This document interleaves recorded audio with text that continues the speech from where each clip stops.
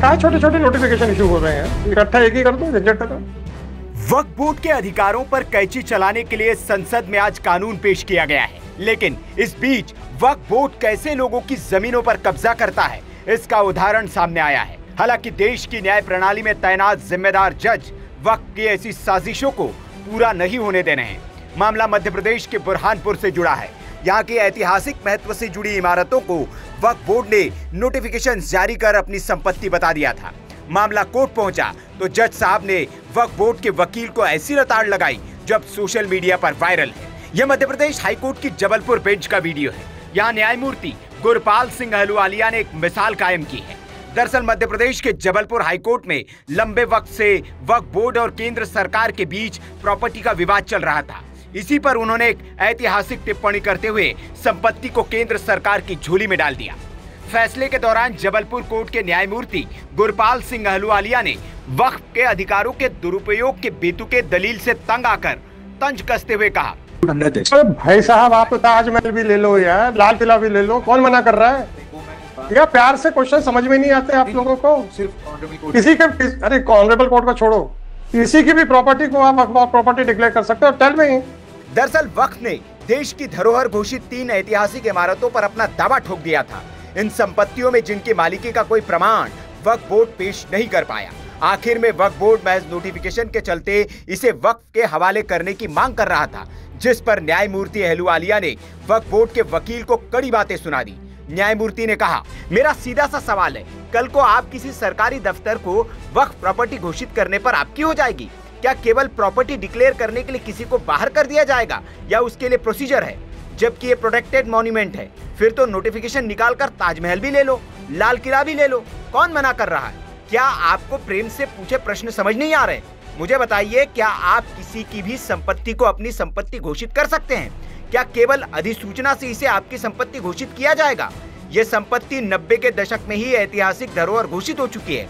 बिना किसी मालिकाना हक के, बिना कुछ देखे, इस पर अधिसूचना जारी कर दी। बताइए, इसके मालिक कौन थे? अधिसूचना जारी करने से संपत्ति आपके कैसे हुई? फिर आप क्यों छोटी छोटी अधिसूचना जारी कर रहे हैं? इकट्ठा कर दो, झंझट खत्म। इसके बाद न्यायाधीश जी एस एहलुवालिया ने बुरहानपुर में स्थित शाहजहां की बहू, बीबी साहिब और नादिर शाह के मकबरे को वक्त संपत्ति मानने से इनकार कर दिया है। कोर्ट ने इस पर भारतीय पुरातत्व सर्वेक्षण विभाग के हक में फैसला सुनाते हुए इसे ऐतिहासिक वास्तु घोषित किया है। कोर्ट ने ज़िले के तीनों संपत्तियों को केंद्र के हवाले करने का फैसला सुनाया। कहा जा रहा है कि इस फैसले से प्राचीन इमारतों पर केंद्र सरकार का अधिकार होगा। वक्फ इन पर अपना हक नहीं बता पाएगा।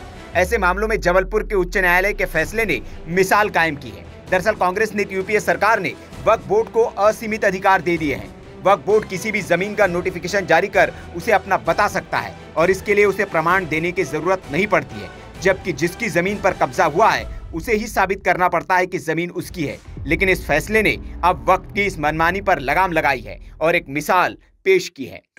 आपकी कैसे डिक्लेयर होगी वक्त प्रॉपर्टी अब ये तो बताओगे कि नहीं बताओगे? तो आप एडमिट कर रहे हो कि डिक्लेयर नहीं हो सकती थी। तो बताओ ना क्यों क्यों क्यों डिक्लेयर हो सकती थी? Has been done in terms of section 5 of the Act. कल को वो जो भी सरकारी दफ्तर को कह देंगे कि वक्त प्रॉपर्टी तो हो जाएगा। मेरा सीधा सा क्वेश्चन है ब्लंट कल को अग्रवाल साहब की प्रॉपर्टी का नोटिफिकेशन निकल जाएगा तो फिर अग्रवाल साहब को निकाल के बाहर कर दें। ये उसके लिए कोई प्रोसीजर है? इतना ही पूछ रहा हूँ भाई। प्रोटेक्टेड मॉन्यूमेंट है। ये ऐसे डिक्लेयर हो गया 89 में। Section 5 C.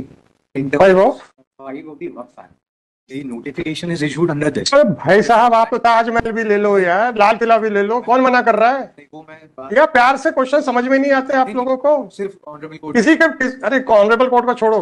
किसी की भी प्रॉपर्टी को आप प्रॉपर्टी डिक्लेयर कर सकते हो। टेल में सेक्शन पाँच में नोटिफिकेशन होगा फलाना होगा पूरे भारत का वक्त प्रॉपर्टी डिक्लेयर कर दो देन क्या नोटिफिकेशन का आपका वैलिड हो जाएगा। The property was already declared as a uh, uh, ancient monument. By notifying, issuing a notification in the early 19s. बिना किसी ओनरशिप को बिना कुछ देखे क्या ओनरशिप थी आपकी इसके पहले से prior to this notification which was issued under the ancient monument act who was the owner of this property notification issue हो गया तो प्रॉपर्टी आपकी हो गई। फिर कहा छोटे छोटे नोटिफिकेशन इशू हो रहे हैं। इकट्ठा एक ही कर दो झंझट खत्म। इसका ओनर कौन था? रियल ओनर कौन था? क्या हुआ? कहाँ से ये property I requiring a notification under the वक्त एक्ट कुछ नहीं मालूम किसी को।